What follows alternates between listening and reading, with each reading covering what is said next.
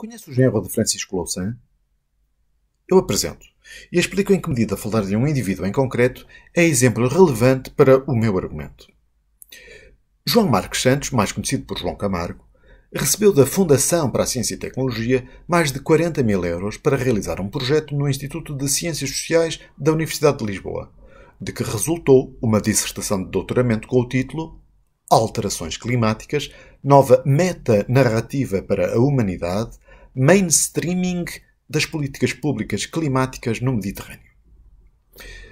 Este trabalho foi orientado por uma socióloga e, a ser considerado produção científica, é no âmbito da sociologia e não tanto das ciências naturais e exatas, como seria suposto acontecer com estudos ligados ao clima.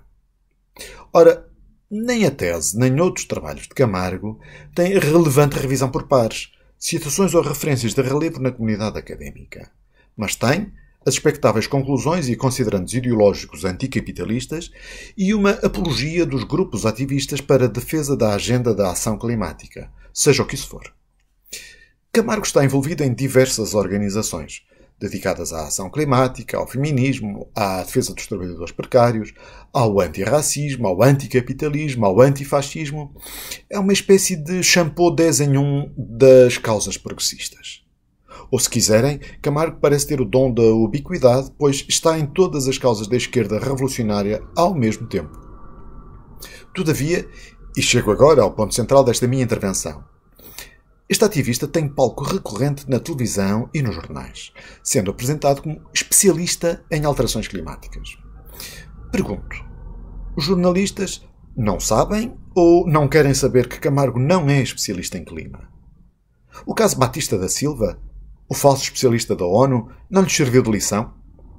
Por que razão os jornalistas não questionam a falta de transparência e informação pública sobre quem são os membros, dirigentes e fontes de financiamento das organizações a que Camargo está ligado?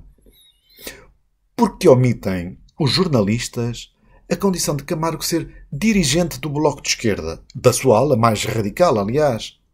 Candidato a deputado pelo Bloco de Esquerda e redator nos principais meios de propaganda do Bloco. Os jornalistas não têm nenhuma suspeita ou dúvida sobre a credibilidade e isenção das opiniões e comentários de Camargo quando se conhecem os seus interesses de dirigente partidário, político ativo e até as suas ligações pessoais e familiares? O ambiente está poluído por jornalistas sem brio profissional. E o clima está contaminado, mas por jornalistas militantes de causas.